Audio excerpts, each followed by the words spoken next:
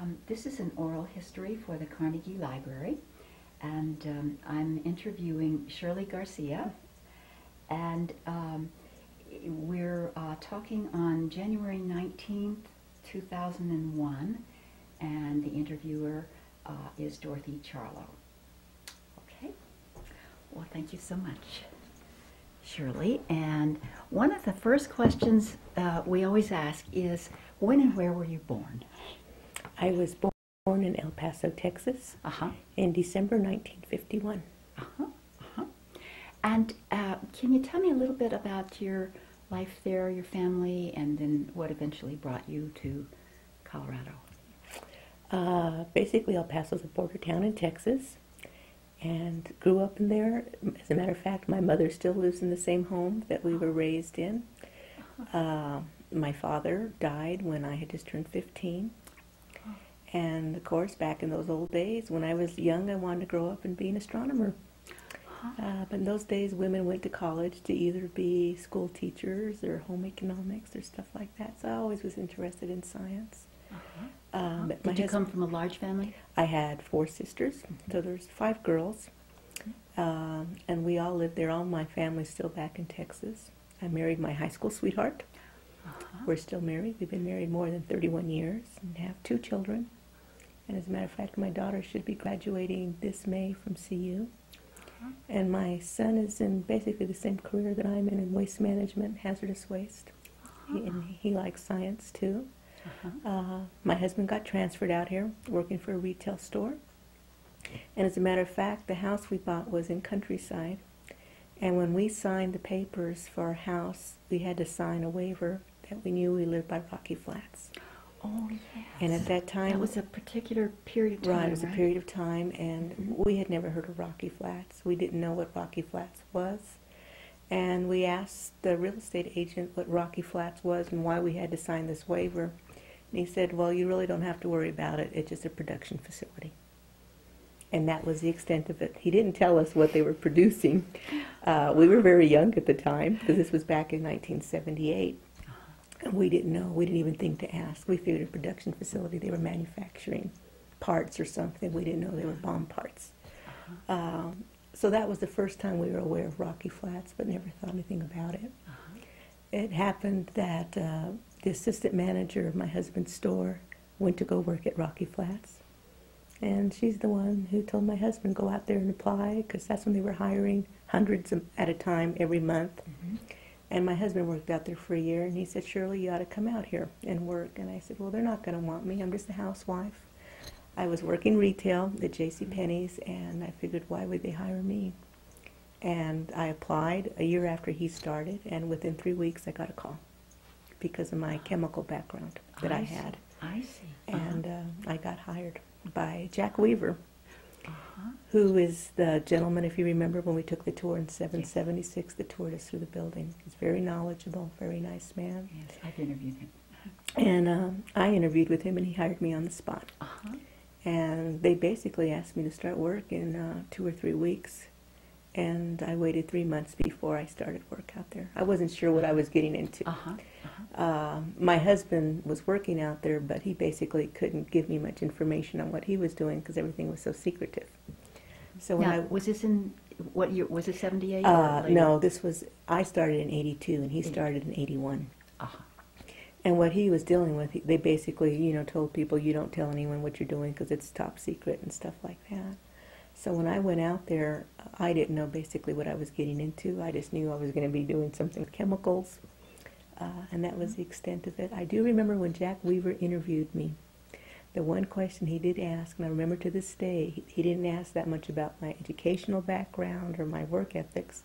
He asked me if I would mind showering with other women or if it would be embarrassing for me to have to get undressed in front of other people. Those were the two questions I remember to this day. Showering with other women, I thought like in high school you still could go in and sprinkle and leave your underwear on. and that was not the case. And getting undressed, I assumed he meant around other women, and later it came to find out it was women and men. So that was an awakening for me. And uh, so I- I went to go work there, and uh, like I had explained earlier, When I went in in 1982, I actually started in July of 1982. Rocky Flats was going through a transition where it was mainly a male-dominated workforce, and there were very few women out there. And it was very hard on us as far as women being out there.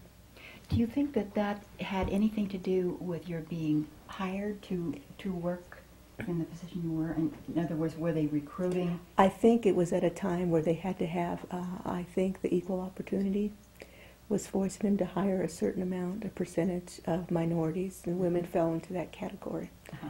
So it made matters worse for the women that were hired because men were not being hired because they were hiring women. Uh-huh. And most of the men that I started working with, they looked at looked at it as if we were taking jobs away from men that needed to support their families Mhm. versus us needing the money. Yeah. So that was so hard in the beginning. Difficult. Yes. Uh, another thing that was very difficult, I had never been around a lot of men that uh, cussed a lot or that were very abrasive. And it was something to get used to, but you couldn't let them know that it bothered you because they would do it even more. Yeah. Yeah.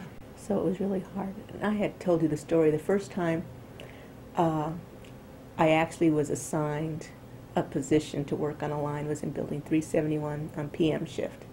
Up until then, we were working uh, on day shift for training, and we were always with a group and our trainer, so we were kind of like protected. I was the only lady in my class, and there were only seven in our class, and every week they were bringing in new employees.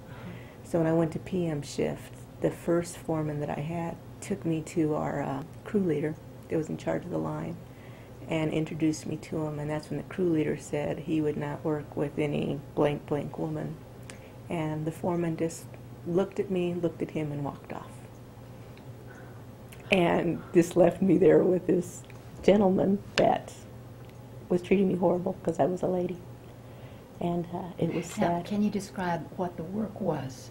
Uh, We basically, in 371, what we were doing is we had big, huge furnaces, and you would have to load salt and plutonium into them. It was electrorefining, and you would, uh, basically, it was electric charge, and you, we actually made the buttons. We would make the buttons, and after the buttons came out, we would actually stamp the numbers on the buttons, which was also hard for women because you had to have a lot of force. uh-huh. Because it was a hand stamp, and uh, plutonium is very hard. Yeah. So you- Can you describe a little bit for people that would be listening what the button is? A button is basically uh, the trigger on your atomic bomb that actually uh, is fissionable. When you have enough heat generated on it and you have an ignition source, that's what actually will ignite and make your atomic bomb. Your energy is given off. You have a small sized button that would be no more than maybe four or five inches, and um, it could weigh five to seven um, grams and it was plutonium, and they'd have it tested for purity. One of the hard things in this line, the majority of the process lines, and 371 was a newer building versus 71, the process lines were all engineered and made for men, for their height, their long arms. So uh, the few ladies that worked there that were short, and I'm very short, would have to have ladders or footstools. I remember specifically asking if I can even have just a wooden piece of wood to stand on, and uh, through the months it would improve, and I'd have carpenters that I finally got to know that would make me little footstools, and they had finally purchased uh, roll-around ladders so that we could actually get into the gloves and look into the windows. The thing with the But the work you were doing involved being in the gloves. in the gloves, In the glove box. right, being in the glove in the glove box. Mhm. And we, when we made the buttons, the thing with that process was very hard is because when you actually pulled out, or we would actually melt the plutonium, we have to bring out what was called a crucible. It was around uh, 10 inches high, made out of graphite. And that's where the button would be formed inside with salts. And to pull this out of the furnace, it weighed around 50 pounds. So as a lady, you're working in these gloves that are cumbersome as it is. Your arms aren't long like the men's. So you're trying to reach in, open up this furnace, and pull out this crucible that weighs around 50 pounds. And the guys would show you how to do it. Naturally, they would do it and be real easy because they had access to it and they could lift it out with one hand. So as women, a lot of us had to learn a lot of what we call tricks of the trade uh, to be able to get stuff in, to have leverage on stuff. I would always have to find an empty can, put it underneath the furnace, pull the crucible out to extent so it could fall on this tall can, and then I could set it down. So you're always finding ways, or you always have gadgets to reach for stuff that you normally couldn't reach it uh, if you weren't a man if you didn't have long arms. But you could do that in the gloves. Right. There would be gadgets that were right, available. Right. Or we would have to think of gadgets that we thought with hooks on them or stuff, and uh, we would ask for them, and then we would just put them in the glove boxes, and we'd able to use them. One of the other stories on that line, not being familiar with tools, I remember once uh, this really nice guy. He ended up being really, real nice because once you proved yourself as a worker, they would end up respecting you, and they didn't mind working with you. As a matter of fact, they would ask to work with you when I first started working with him, when he would be working on these furnaces, because we did a lot of our own maintenance to fix things, he would ask for tools, and I wouldn't know the difference between a crescent wrench or different tools. And it got to a point where I would bring all the tools before we started the job. So he would ask, and I would say, "What does it look like?" And I would be able to give it to him. And so I learned a lot from him. Uh, learned a lot. Uh, we had all kinds of women out there in the beginning. We had women that made it harder for us, who wouldn't pull their share of the weight Mhm. and use it as an excuse because they're women. So I made it harder on a lot of the women that were trying to say we're here and we want to pull our own weight. Yeah. That first day, going back to that first day when you were stuck with this this foreman that didn't want women, what what happened then? What do you Uh, remember? Yeah, eventually it, it wasn't the foreman that didn't want Oh. women, it was the crew leader. Oh, okay. The foreman didn't want to cause problems, but I think he was just reinforcing the fact that he really had a woman. And back then, they felt if they had a woman on their crew, it was going to slow them down or they wouldn't be as productive working in the glove boxes or whatever they were going to do. Uh, but they didn't want to cause problems. They just figured it was up to the working crew on how they dealt with it. I see. I also had another foreman in that same building that couldn't handle working with women. He wasn't rude to us. He was very nice and polite, but he couldn't talk to us. We would have our morning meetings, and he'd always make it a point to stand in front of us so that his back would always be to us. I just, it's because he just was never used to working with women. And he would always make it a point to tell other men that we were working with, not our leaders, but just our other coworkers, would you please go tell Shirley to do so and so? But that was just his personality. A lot of the men were just not used to working around women. And when I uh, got transferred down to 771, it was a totally different world because that's when we were actually working with all the old timers. So it was a lot harder because Ah. they did not want women there. Uh-huh. And uh, Now, by that time, you kind of knew the ropes. right, Yes. I had How- been there long had you almost a year. Uh-huh. But coming from 371, which was a clean, beautiful, nice building, going to 71, which was called the Hole, was completely different. Uh, very few people wanted to go work down there. Yeah, I've heard it referred to as the hell hole. The hell hole. Mhm. But it turns out that was one of the best buildings on site because everyone that worked in that building that was accepted became a true family. Mm. They would do anything for you. Mhm. Uh, we had a lot of contamination down there. A lot of people were contaminated. Uh, and that's one of the buildings that uh, we worked in. Sad to say, through these years, a lot of people have passed away Yeah. from uh, cancers or different things that we worked with down there. And, uh, And you do you feel that over the years the contamination just built up and, and, and jeopardized their I think uh, that, or just other factors. I think with Rocky Flats, back even when I started in 1982, the contamination for the radiation was easily detectable because of the instruments we had. If there was airborne contamination, our alarms would go off. I think the thing that concerned me the most now that I look back was the chemicals that we used. uh Uh, we would have acid spills that would fill up whole rooms and we would go in and have to clean them up uh, without respirators. So you're inhaling all these fumes and caustic fumes.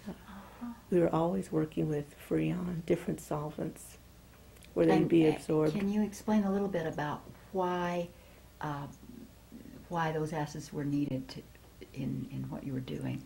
A lot of the acids, especially in 71, were used in the processes where they would use them in the lines to either uh, break down the plutonium so that we could recover it. And a lot of the processes just basically used either acids or caustics for the whole process. 71 was unique in the building that it could recover plutonium from your your Tyvek or anything that had a, a large amount of plutonium. We would incinerate it, take it through um, ion exchange, and we would recover the plutonium that we had out of the ash and stuff. And So this you- would be from old, uh, old weapon parts? Not parts, just Okay. uh, anything that was anything that had a sufficient amount of plutonium on it. We would even try to recover plutonium off of films from the labs, uh, gloves, anything that had enough of an amount on it that went to the counters that had plutonium. So we were always trying to recover it. And so we always had acids. Uh, the building being so old, we were always having leaks. So uh, if we had an acid spill, we'd take caustic and go throw it on the ground, neutralize it, and clean it up with uh, chem wipes, which are basically large paper towels. And we worked a lot uh, with solvents. We were always cleaning stuff. If we worked with ceramics, to actually, um, those were part of the processes too, to make the actual triggers where you used uh, ceramic cups or rods. We had to clean those by hand with Freon, and Freon is a carcinogen now that we know that um, we had no protection. But again, it wasn't Rocky Flats' fault because back then the whole industry wasn't aware of the hazards that we have with chemicals. Like I said, radiation people were aware of because you always had alarms that can tell you. Yeah, yeah. But um, do, now, as you look back on it, does it worry you about your own health in terms of what you? Uh, in particular, the thing that really worries me the most is the contamination that I had from using Freon a lot. I know I'm getting old, but sometimes I think when I have short-term memory loss, and that's one of the things that Freon does to you, it kills your brain cells. Uh, there was one evening when I had first started, when you're new there and, and you're relying on your supervision to take care of your safety. I would, um, I worked in a real small room with Freon where you would pour it into a pan to clean these crucibles without any gloves or without any protection. And uh, Freon makes you feel like you're high, uh, whiffing it in this small room. And the next day when I woke up, I had a horrible rash on both my arms my body was just reacting to me inhaling all that freon.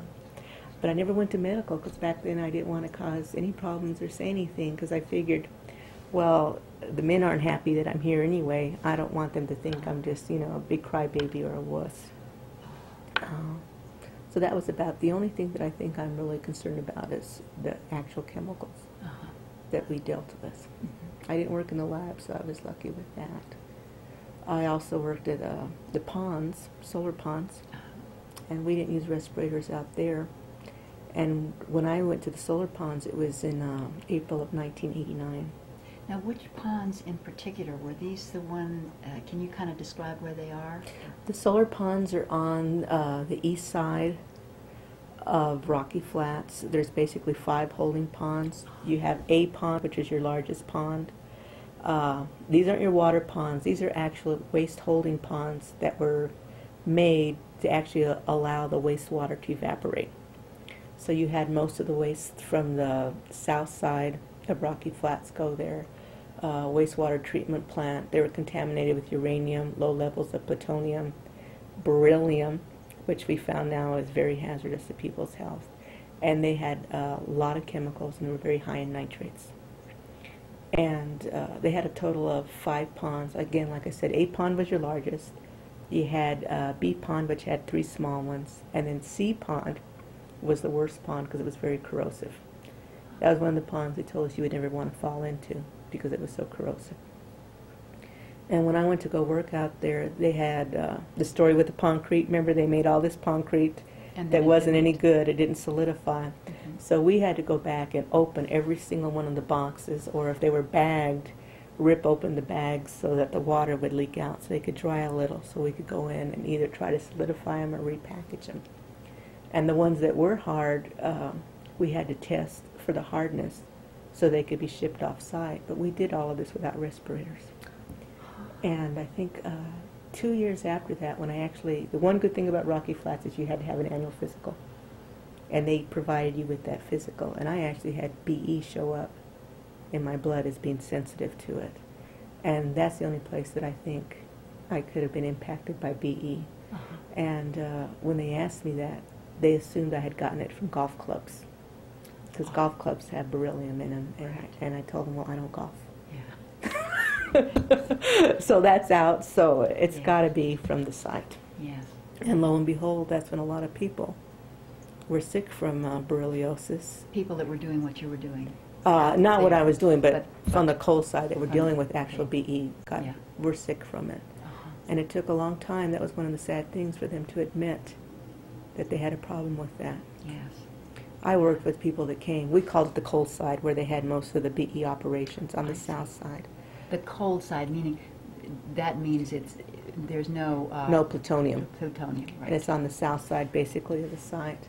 I worked with a lot of uh, men that used to work on the cold side, and they remember eating back in the areas, working with the BE, coming out with black all over them, taking that stuff home, and their wives would be mad at them. And I just think back now and say, what a hazard that was. Yeah. It was, and it's sad. Yeah. Do you know very many uh, workers that are sick with ber- berylliosis? I don't know them personally because I always worked on the plutonium side of the facility. Uh, so no, I haven't. There's only one gentleman that I know, that and his name is Ron Roysh, but he doesn't have BE, but he still works out there. Uh, bless his heart. Mm. He goes around. He has to breathe oxygen all the time, and he worked in the BE building for many years. He has emphysema really, real bad right now. Mm. Well, what, um, how long would you say it took for, for the men to kind of get used to women? I suppose there were some who never did. Right. Uh-huh. And I started in 82, and I would say by the late 80s, early 90s, uh, the culture was totally different. Because back then, when I started, you only had one decontamination room. So if you got contaminated, uh, you were either in there showering with the men, or you had to wait your turn. And when I left uh, actually working in the areas, I started out as an hourly person. And in 1989, I went uh, salary. And by then, they had already made uh, decon rooms, or what we refer to as, for women and for men. Uh-huh.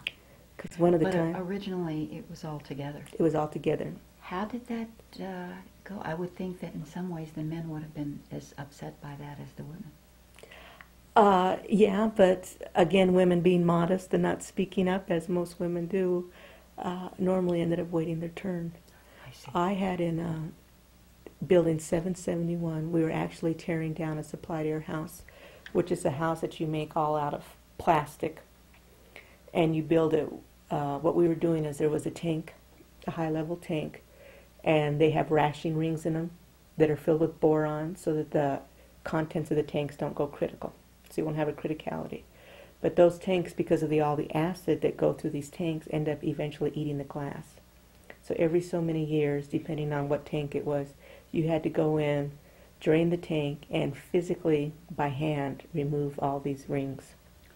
And it, it's a very heavy job. It's very time consuming. You're in supplied air, uh, and it's very heavy, even for a woman, because you're lifting five gallon buckets of glass, and it's very heavy.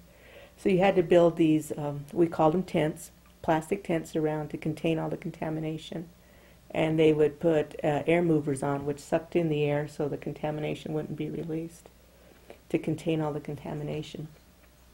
And it was on a Saturday, and we were supposed to tear down this supplied air house. They had gotten, they identified a certain amount of people that can do this without crapping up a whole room, contaminating a room. And uh, I was on the team that was able to do that. And this one Saturday, and there are some people out there that we never liked working with either because they were just bad luck you knew that you didn't want to work with them. And it wasn't that they were safe, they just weren't aware of what they were doing a lot of times. Just more klutzy. Right, more klutzy, or they didn't think, or they never could get down the process. 71, you had, there were miles and miles of lines, and you had to know where all these lines went when you were transferring liquids to a tank, and what valves are shut off and which ones not. And they just could never comprehend a lot of this stuff.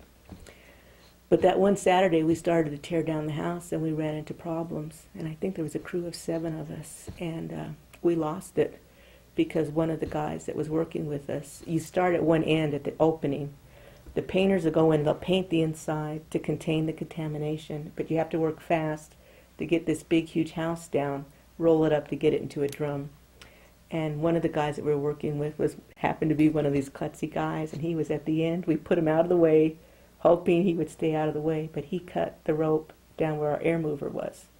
So the end of the house actually fell down on the air mover, so we lost that suck on the house of the year. So rather than losing the room, what happened is all the monitors, the RCTs, the technicians, rather than losing that whole room, they just started throwing um, KW, which is like a soap, all over the place because if you wet the airborne contamination, it's not going to go airborne. And we just had papers on because we were planning on everything being okay. But what happened is the people that had paper coveralls on, that contamination adhered to our skin. And uh, by 11 o'clock, we had we were all contaminated, including the RCT that was working with us, and we lost the whole room. But lost the whole room. Can you explain what you mean by that exactly? Okay, we had a room, and by losing a whole room, that means by losing it, the whole room got contaminated. Okay. And what you want to do is, if you ever lose control of your contamination, you want to prevent losing a room because you know everyone's going to have to come in and decontaminate the room. And it's very hard because all the contamination goes up high, and you have to start at the top, and it can take days or weeks or months to, to decon one of these rooms. And at that time, when we all got uh, contaminated really, real bad, we had one decon room. And I was the only lady. So naturally, uh, the guys went in. They took their turn while I waited. But it turned out I was the most contaminated person. So in reality, what should have happened, they should have said, Shirley, you go in first Yeah. and let the guys wait. So they didn't say ladies first. No. that never worked. no, no. I can see that that would not have been. Uh, so uh, I waited and waited till they came out, and then I went in not realizing how contaminated I was. Uh, went into the shower, but I had been so contaminated that going into the shower, the contamination that was in my hair washed all the way down on my body, which was the worst thing I could have done. And normally you always take cold showers so that you don't open the pores on your skin so the contamination does not go into your skin. And I had lukewarm water, and uh, back then in those days, they could scrub you a little in the buildings to try to get you cold. And if not, then you'd have to go up to medical.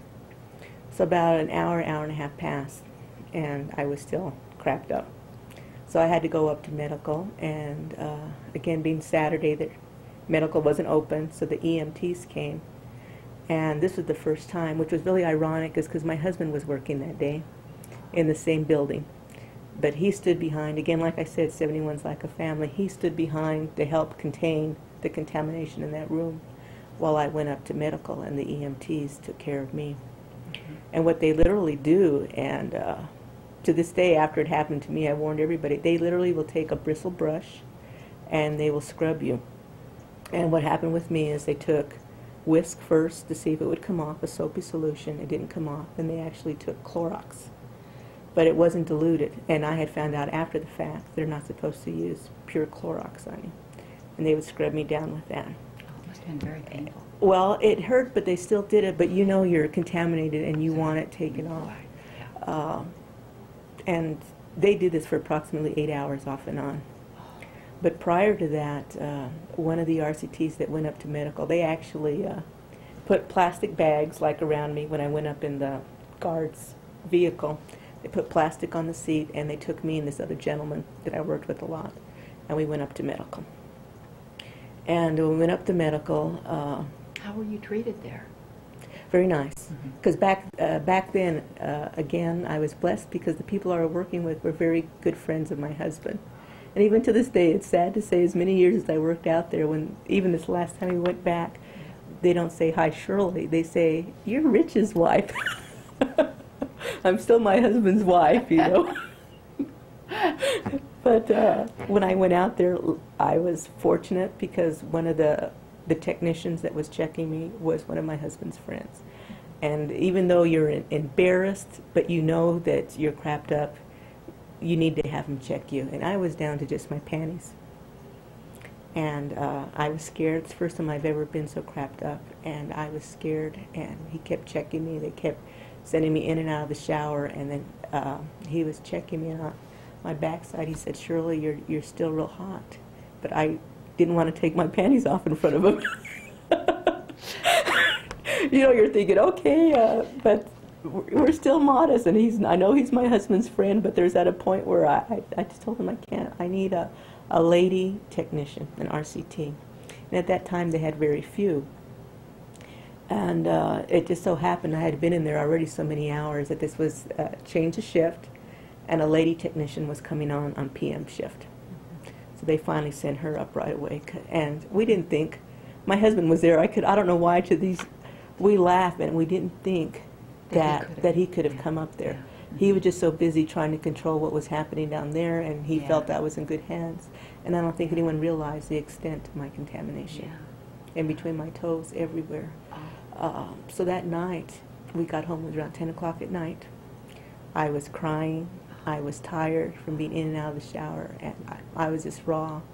And uh, I came home, and my husband says, Well, honey, if you want to feel better, why don't you take a shower? he was being sincere. yeah. It just And- And then I really just started bawling and crying because I had been in the shower all day long. And I think that's the one time in my life I said, I don't want to go back there. And the next day I woke up, I had scabs from my neck all the way down, my back, and my arms. And uh, when I went into medical the next day, because I couldn't go back into the area, they gave me a. They only had one little tube, tube of this balm or something left from my sca- scabs. They didn't want to give me their last tube, so I remember them actually putting some out on a little container and giving it to me. And then I went back into work. Naturally, I couldn't go back into the area. And me and my friend, basically, we both were pretty bad, scabbed over. And that's when I actually realized that they're not supposed to use straight Clorox on you. Yeah. Had I known, I would have said not to do that. Yeah. But I went back and, uh, again, not thinking about me or my friend Don, not thinking about himself. We felt bad for our coworkers that had to go back in and clean up the room. Mhm.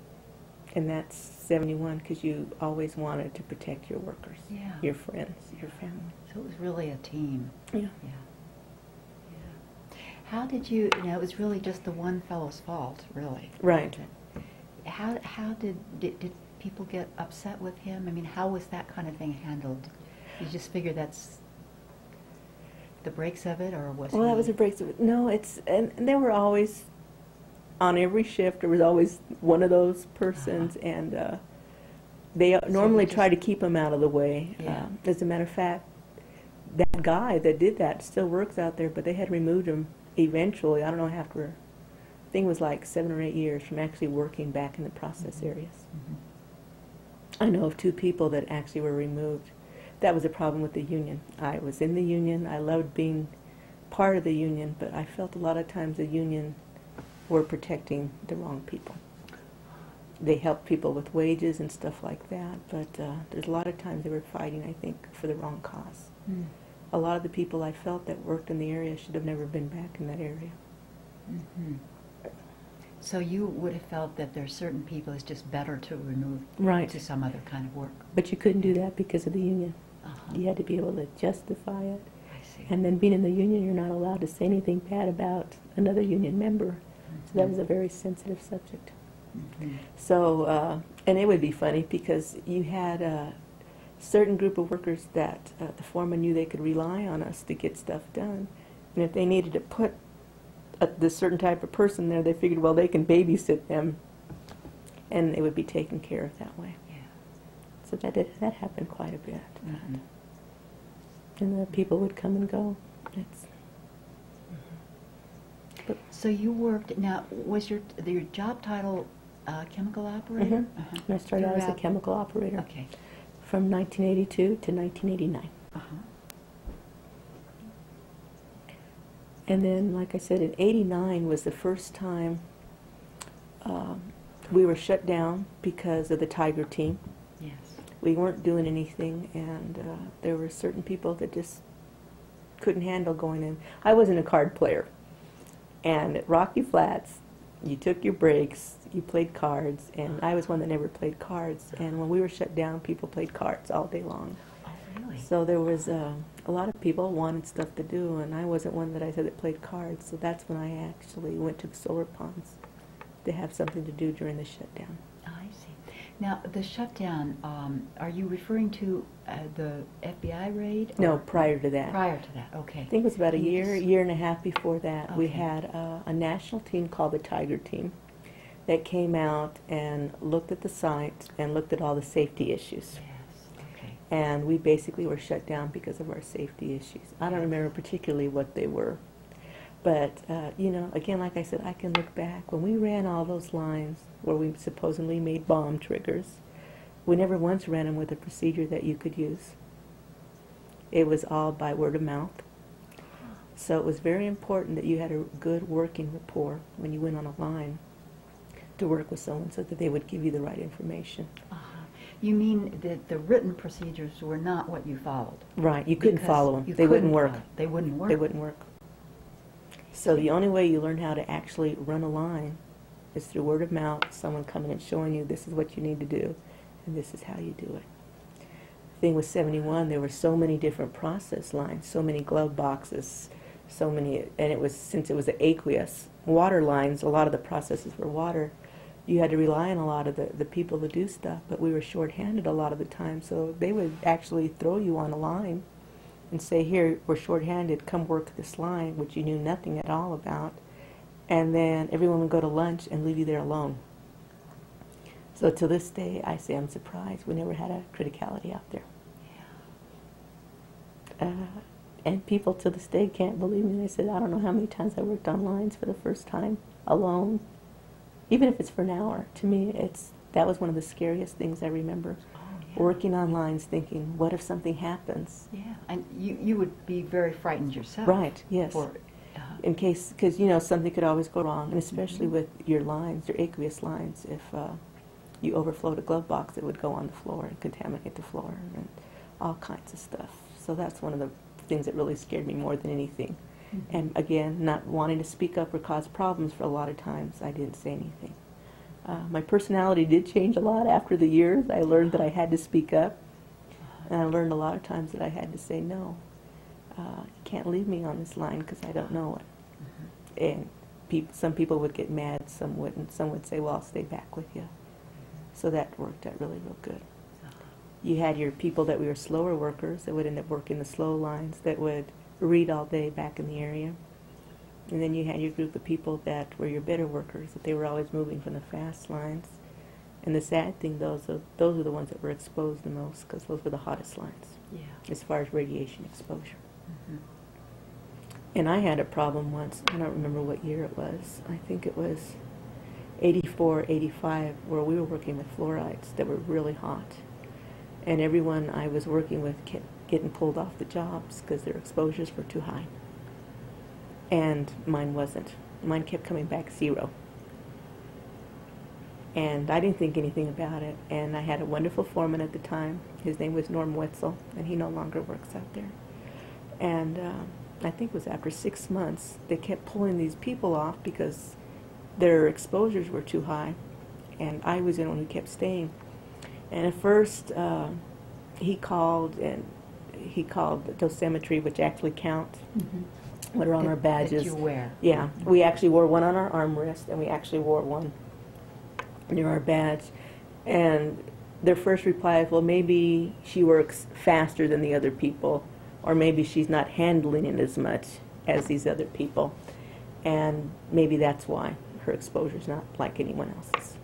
So we let that go, and so after six months, thankfully for my foreman, he said there's something wrong. And uh, he didn't give him any warning. He took me and we went up there to dosimetry uh, to actually sit down with the manager and ask them Uh-huh. what the issues were and wanted to know. And uh, luckily, we had that meeting. We came back with the same response. They weren't sure they were going to look into it. But someone that was working there called my foreman the next day and uh, felt there was a problem because what had happened is they had never put in those little things that they count on your badge. I forgot what they're called now. So it was a defective badge. Right. It, it was never reading anything.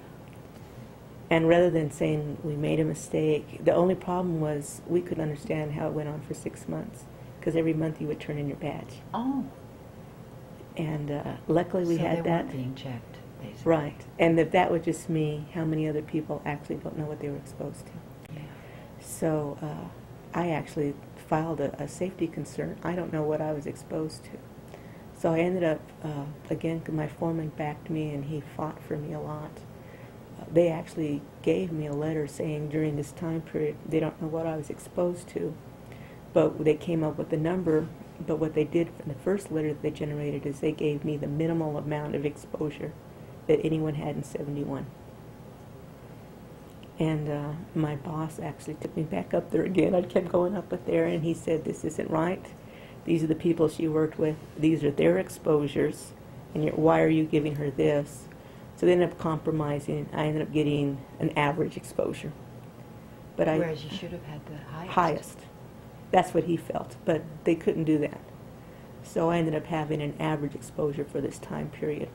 But what happened is, again, by making waves, which I found out you, you normally don't do, uh, they ended up pulling me out of the area because of my exposure, not knowing for sure what it was. And they sent me up to building 664.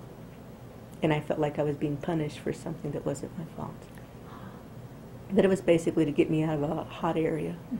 so I can get my average exposure for the year. Yeah. Did, did you feel that um, you, you felt you were being punished in the sense of, but did you not feel relieved that you weren't going to have to be exposed? Uh, no, I think that's why I felt I was being punished because I felt like I'm being taken away from my family. I see. It's yes. it's all Yeah. out in the open now. Everything's under control, and as long as I know my badge is working right, Uh-huh. everything's okay. Because every Uh-huh. year, anyway, in January, you would go back to zero. No matter what you had as far as exposure, every year you'd go back to zero. So uh, I don't I don't remember now. It was three months or six months. I was sent to this building where I wouldn't receive any high doses of, ex- of radiation exposure. Mhm. But I was away from my friends, and I was put in a position where you would sit all day while you counted these crates. I see. And if you're used to working or moving or working in glove boxes, it's hard. Yeah. So I felt I was being punished for that, even though that's not what it was. Yeah. So that's one of the few times it was hard if, if mistakes were made to get them to say, yes, we're sorry, we made a mistake. Mhm. Similar to the. BE. Right, yes. Do you think, uh, I mean, was the union helpful in that, or were, was that not? um, At that particular point, no, it was my foreman that actually uh, was fighting for me because in the department that I was in, uh, we assayed all the material. And it was the one department that usually had higher exposures than the rest of the other chemical operators anyway. Because we were dealing with the small cans, the fluoride, uh, green cake, the oxides that had a lot of uh, radiation. A lot of the cans you would pick up, you could feel the warmth of them. Uh, fluorides were some in particular that once you put them in, even in the 10 gallon cans, uh, you could feel the warmth of them sometimes. mm, So that one group we had had a tendency to have much higher exposures than the rest of the workers. mhm. And I think that's why he was very protective of us. Uh-huh. But uh, and to this day, I still have that letter. And luckily, had that person never called, I don't think I would have ever known. The person called just to, uh, was it just some conscientious person? Mhm. The person that was working in there, and they overheard what our concerns Right. were, and they're the ones that called Mhm. and uh, told us basically what was wrong with our badge. Uh-huh. Wow. And I think if you talk to a lot of other people, uh, you'll feel a lot of them didn't have confidence in even what we were told what our exposures were. Mhm. It sounds like it was probably a combination of factors, Right. just from, from your Mhm. example. Mhm. So you couldn't say it was just one problem, but probably a Right, whole a range. whole range of problems Yeah. that created that, right. Mhm. Do you think that most of the badges worked accurately? You know, obviously yours didn't, but. Yes, I did. And Mhm. after that is where they actually uh, went in and changed a lot of the things of the system. So you can say out of a very bad Mhm. case, something good comes of it. And they went in and changed the system. They had to go in and uh, they started documenting what badges they picked up, which ones they didn't. Uh-huh. when they read them and did this, they changed a lot of the whole system on what they did. So I think it alleviated that a badge couldn't fall through the cracks. There were a lot of times where people's badges were picked up when we would turn them in, so they would keep using the same old one. So if your bag, uh, badge wasn't picked up, you had 24 hours to go take it up to the dosimetry yourself. So they made a lot of good changes. Mm-hmm. I used to always say Rocky Flats is just like the book. It's the worst of times. It's the best of times. Uh-huh. Because uh, I would get up and I would look forward to going to work. You go socialize. To me, it was like a uh-huh. country club in a way. And I would uh-huh. always laugh and joke. We wore white coveralls, so I say it's just like a country club. We all come to this special place that hardly anyone's allowed to go. we wear the same outfits. Wear gloves? gloves. we would have good times. Uh, Uh-huh. We'd go down the halls dancing and singing. So you had Uh-huh. a really good time, but you Uh-huh. knew what the hazards were, Yeah. and you were aware of them all the time. Mhm. You had to always be on guard. And uh, you, well, you saw from going to 76, working back there, you're always thinking behind your mind what you're doing. You have to be aware of what you're doing because of the implications Yeah. that you may not only be doing to, something to yourself, but to your coworkers. Mhm. So you're always aware of everything that you're doing. Mhm. But you still have good times. When a, a room would get crapped up and we'd have to get our full faces on and get totally decked out to go in and decon, we still had a good time because we knew we were working with a group of people that we could rely on and we knew it was a job we had to go in and do. Mhm. So we, like I said, I used to love getting up in the morning and going there. It was fun. Uh-huh. Uh-huh. And that, uh, your work in production actually then stopped before, uh, when your, your part was shut down, uh, before the FBI raid, right? Uh, well, Or- or Yes and no, because everything had shut down because of the Tiger team's report, and we were just about starting up again. Not in the actual plutonium processes, but other things like the solar ponds. Uh-huh. And that was one of the reasons I went out to the solar ponds, because they were redoing all the bad uh, cemented things that really didn't harden up. Mhm. And I went out there. I started in April, and then that summer is when we got raided by the FBI. Uh-huh. And when we actually got raided, I was actually outside. Um, most of the the solar ponds, uh, cemented things were out on asphalt pads. Mhm. And at the time, what we were doing is we were going through and verifying. And if they had, uh, they would cover them with big, huge bags. And if the bags had a lot of water in, we would actually go slit the bags, let all the water come out and be released, so the cement would solidify a little better. Uh, and helicopter kept going by, and we had a, what is it, no airspace where people couldn't fly over. Right. And this helicopter kept going by, and we kept thinking, boy, it's the news again, because we had helicopters go by previously because of the Tiger team, and we were shut down uh, within the past year. And so we thought, oh, it's the news, they're going to get in trouble. But this time it kept coming closer and closer, and we didn't realize what had happened. We were outside, we didn't have access to a PA system, so we didn't know what was happening. And I just remember a big, huge bus going by a bus that we had never seen before really going by. We didn't know what was happening, and um, all the gates were locked. Where you couldn't go in, you couldn't go out. And that's when it happened. But it was very scary because we didn't know they were the FBI. I'm lucky I wasn't in the buildings because from what my friends have told me, they have scary stories. Uh, but previously, you have to remember, even up to a few years before then, we were uh, trained if you had terrorist attacks, when we were having problems, we had increased security. Yeah. Uh, we didn't know what to expect. So here we see this helicopter, here we see this bus going by, and we didn't know what to think. Yeah. And uh, from what a lot of my friends told me from the, when they actually went into the buildings, because they had all their guns out. Our guards had all their guns out, and it was basically a standstill, not knowing what to do. And you would have never thought the FBI would raid Rocky Flats. And it was uh, disheartening because a lot of these people for years really i think put their health on the line not not it wasn't just the good pay that people say that they get Mhm.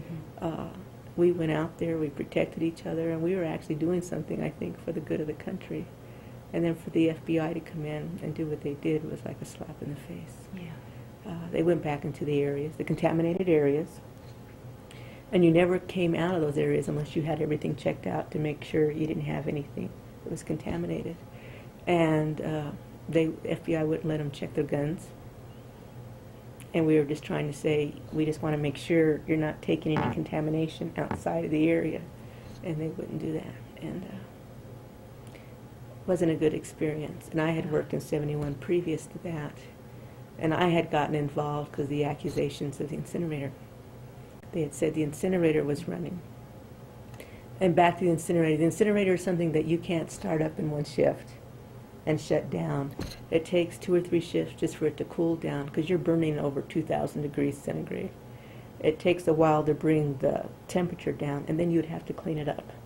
So you're talking about something that would take a minimum two days to do. And how I got involved is when I was in that old group that was called NDA, I moved the drums to this one room at Thanksgiving time. And these were drums where the contents would be burned in the incinerator. And since Rocky Flats was closed down at Christmas, I had moved the drums there. We knew we weren't going to use them. This was prior to Thanksgiving, so I moved them back into a storage area. So you wouldn't have these drums so people wouldn't be exposed out in the area. And it happened in December. We thought prior to the shutdown we were going to start up again with the incinerator. So I moved the same set of drums back to this, what is it, staging area is what we called for the incinerator. And uh, they never ran the incinerator. So I moved these drums back, and uh, I was the one who signed my name on the paperwork. Whenever you moved anything, you had to sign that you're moving it from this room to that room or wherever you were moving it. And uh, FBI called me in and questioned me and wanted to know about these drums. I didn't know what drums they were talking about. I didn't have any paperwork. And what was disheartening is because right off the bat they assumed that I was lying. And they flat out said, "We know you're going to be lying to protect the company." And that that wasn't the case. And uh, the second time when they finally called me in and talked to me is when they finally showed me the paperwork.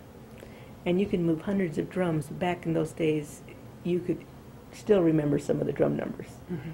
And luckily, I remembered. Well, we took those. It didn't run, so I moved them back, and I brought them back because we were going to uh, burn them again. And then after that, it was okay. Uh-huh. It was very scary when they take you into a room right off the bat, assume Yeah. that you're lying to protect someone. But then again, they went off of information that was given to them that, Mhm. and they did find some of the things.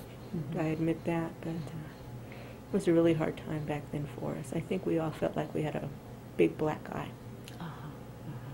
They were doing something really, real bad. And there were. The solar ponds was a perfect example, I felt. Mhm. And that's why I left the solar ponds. They were doing a lot of things that I felt was not right. Uh-huh.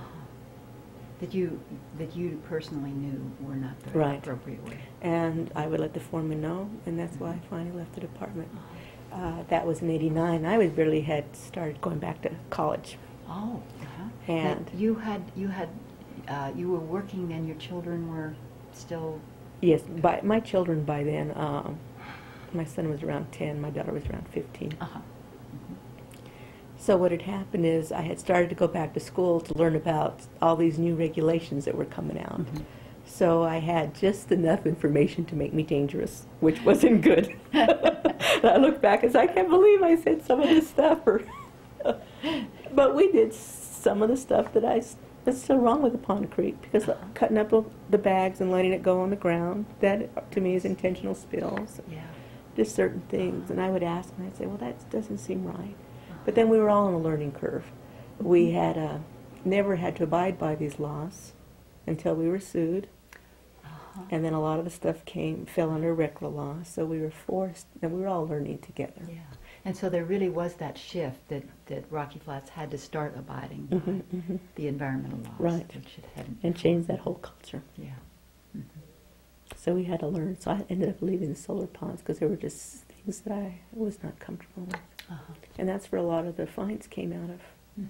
which to this day I, I hear still hasn't been paid. That's what I have heard. I didn't know whether for sure Yeah. that was true. I'm not sure, but it was about a month ago I still heard they hadn't paid those fines. mhm. And that was the, the, the suits that were um, precipitated by Jim Stones, or, or were, was he, was that just one piece of it? Which one was Jim Stone's? Jim Stone was a fellow that I have interviewed who was kind of a whistleblower. Right. But I'm not sure which suit his generated. Okay. I know in the FBI that basically was because his in- incinerator was running because of the two ladies Oh. that had made those accusations. Uh huh. And uh, I worked with both those ladies, and uh, it was a very hard time working when that whole incident came up because Can you do you have you put together what you know why they made those accusations, or do you have any thoughts about it? Uh, well, it's really ironic because one of the ladies, when I left Rocky Flats, I went to go work at the DOE facility in Grand Junction. One of those ladies in particular got hired on out there. And I don't think they realized what had happened, and uh, I was dumbfounded for a DOE facility to hire this person. You think this would have come up, and her, of course, we didn't have to have clearances in Grand Junction, but you think this would have come up. And it was uh, first couple times when I was around her, I didn't have the guts to ask her. And we finally ended up working a lot together because they had hired her to work on a specific project. And I finally asked her why she made those accusations. I think a lot of them were because this other lady told her these things had happened, so she assumed they were truths. Uh, but she actually lived with one of the foremen, and he had told her that the incinerator had run. Oh. So, but even I told her, how could you believe that? You've ran this line. You yourself would know.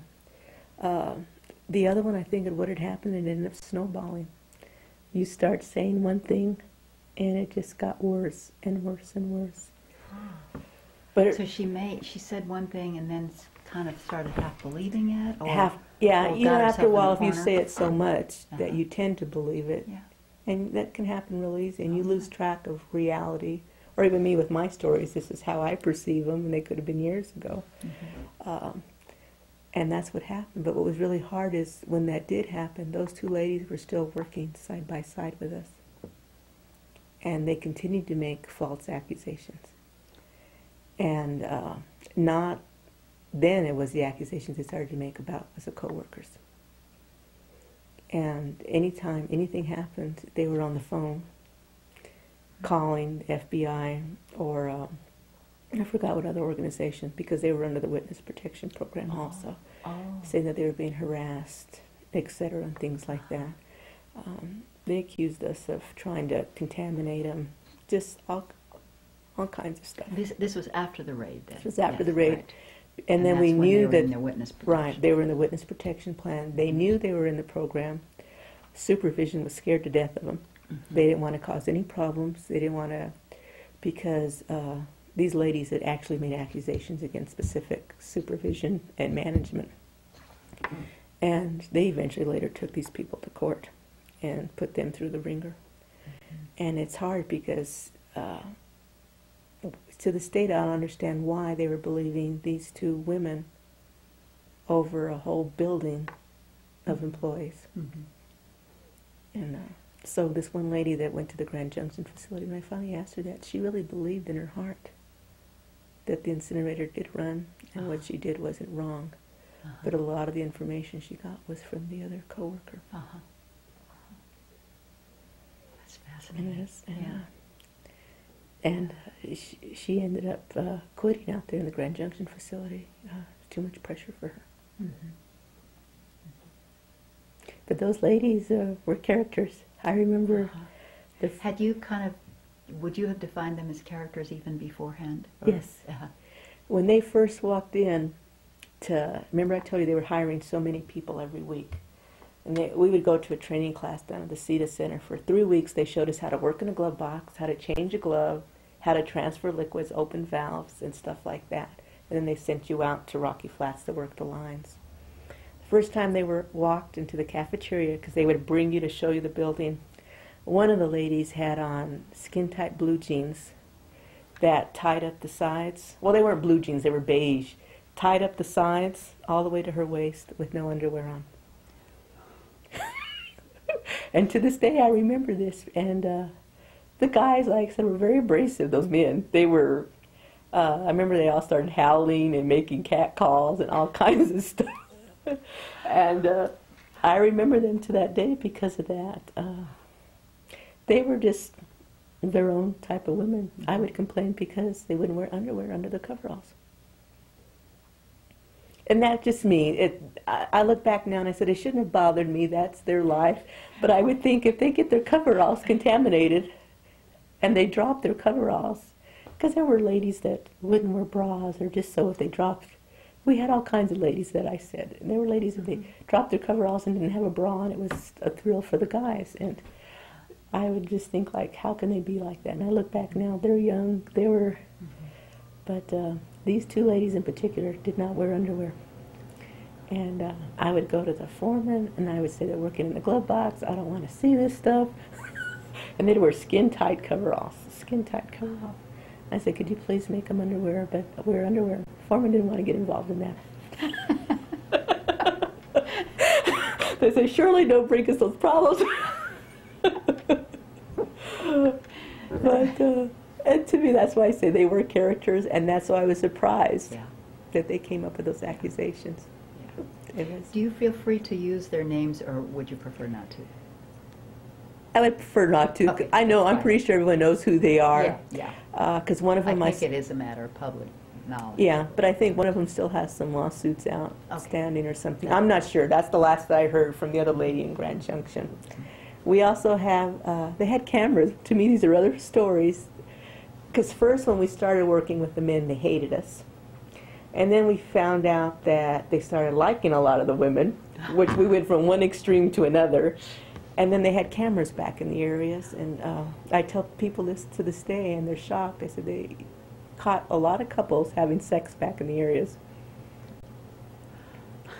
Uh, and they'd be on camera, and a lot of these couples were married to other people that worked out there. A lot of marriages broke up because of that. I mean, a lot of marriages broke up because of that. And uh, it was funny. Rumor mills, that's all Rocky Flats was. We'd always joke and say they should make a soap opera in Rocky Flats because of everything that was going on. Uh, people would be caught on film and not be embarrassed. But everyone And these were different. cameras uh, people would just bring back for, No, they're security cameras. They would have see. little I- cameras like in the okay. lines because of security reasons. I see. And if they were on in certain rooms or whatever, and people would go back, not even realize it. But you would think after a while, everyone knew they had cameras. It still didn't stop.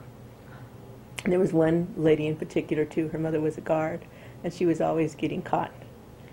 And uh, I just felt sorry for her mom.